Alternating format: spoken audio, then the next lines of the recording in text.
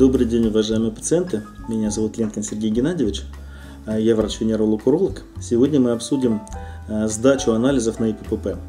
ИППП – это инфекции, передаваемые половым путем. Какие же правила перед сдачей анализов а, на ИППП вообще стоит соблюдать? Ну, во-первых, перед сдачей анализов крови необходимо не есть много жирного. Других, в принципе, каких-то необходимых соблюдений мер не требуется. Почему? Потому что нас не интересует биохимия, не интересуют другие анализы, которые берут терапевты обычно.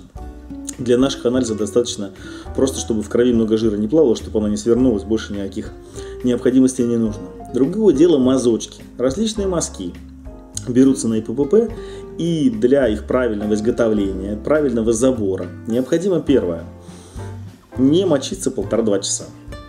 Второе – необходимо накануне не употреблять антибиотиков – противовирусных и других лекарств желательно в течение недели.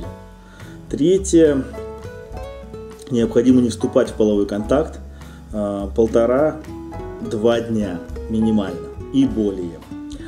А, ну и, наконец, женщинам не рекомендуется подмываться в день забора анализов, не рекомендуется ставить какие-то свечи и прочее. Мужчинам, ну, допустим, мироместин не рекомендуется использовать э, в свой половой член, допустим, Э, просто перед походом, дабы не смыть какие-то инфекции.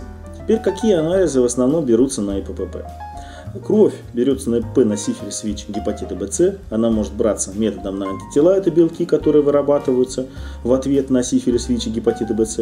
Может браться на сами вирусы. Этот анализ более чувствительный, но более дорогой. И второе – это анализы мазочки. Какие мазочки берутся? Первое. Берется мазочек вот таким одноразовым зондом на стекло. Там смотрится гонорея, трихомонада, воспаление. Берется мазочек ПЦР.